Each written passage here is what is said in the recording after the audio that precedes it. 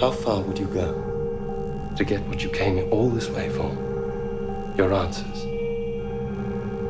What would you be willing to do? Anything and everything.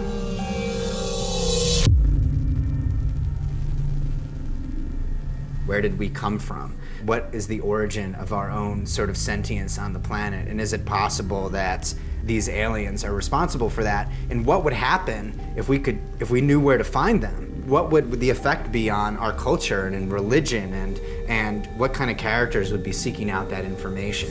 Good morning. I am Meredith Vickers, and it's my job to make sure you do yours. We're trying to sell this idea, this notion that there's this beacon out there that anthropologically we've figured out through different cultures all have the same pictogram that all point towards the same galactic system. It's a star map. No, an invitation. Finally, there's this man, uh, Weyland, who uh, decides to pay a trillion dollars to send us and a team, a crew, into space.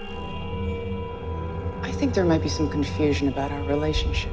Let's say you do find these beings down there. You won't engage them. You won't talk to them. You will do nothing but report back to me.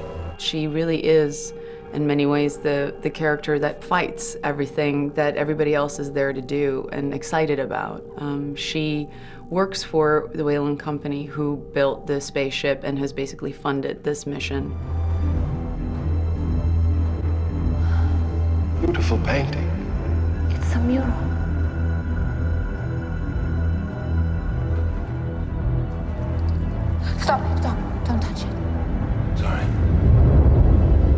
Please don't touch anything. She's driven by passion and faith, but when all the kind of worst things happens, she have this inner strength that just kicks in and she becomes this survivor and she changes into a trooper and, and a warrior. You think we wasted our time coming here, don't you? Your question depends on me understanding what you hope to achieve by coming here. come up with uh, with this theory that the that we're in fact just an experiment.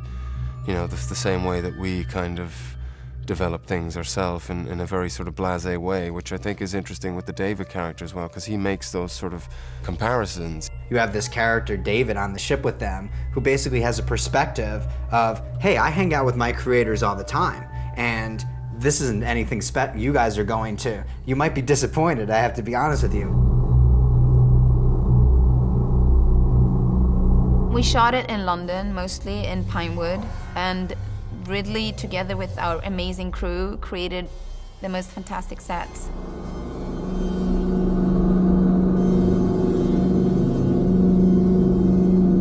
designing in this building the absoluteness of the landscapes, the interior of the ships, the rooms, the suits, the creatures that we might see.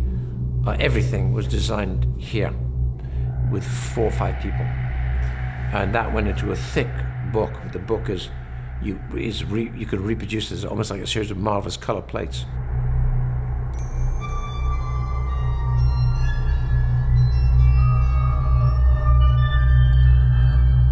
Little did I reckon on Ridley's abiding love of doing what can be done in camera, in camera. And there were cathedral sized sets, just awe inspiring structures that, as long as you were standing in the right place or walking in the right zone, made you feel like you were there.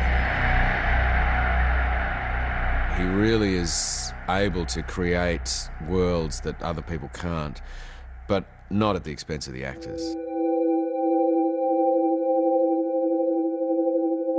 That's the greatest thing about Ridley is he just wants you to help him make a great movie.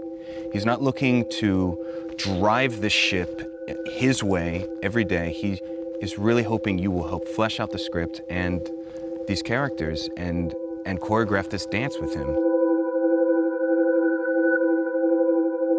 He's in control of the vision and the story that he wants to tell. And when I watch his films, I am mesmerized by his ability to not focus just on incredible visuals, because I do think he's an artist and he sees things like a painter and a sculptor. And the core of, of everything that he does is, is uh, storytelling. Refuse the ground crew. One of them probes picked up a life form. Just got a pin. What do you need a pin? One click west. I really think that this movie is is going to be something that people um, haven't seen before. What's that? Everybody back on the ship now. You need to stay calm. It's okay. There's a lot of suspense and there's a lot of gruesome stuff and some pretty sort of scary stuff, I think, as well.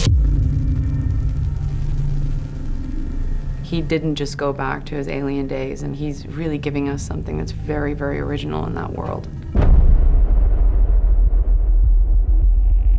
That's really kind of stopped me doing science fiction because I thought, you know, what? How is it going to be different? How's it going to be new?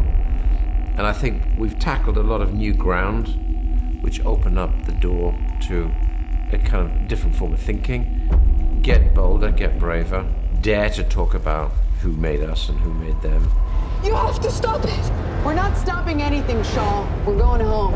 Janek, if you don't stop it, there won't be any home to go back to. Where we're coming from and what, you know, what our purpose is. It's always been the question that, you know, humans seem to have asked themselves or looked up into the stars and decided that there was gods up, up uh, in the skies that were sort of dictating how they would live their lives. So it's always something I think that, you know, humans have been driven by and sort of obsessed by.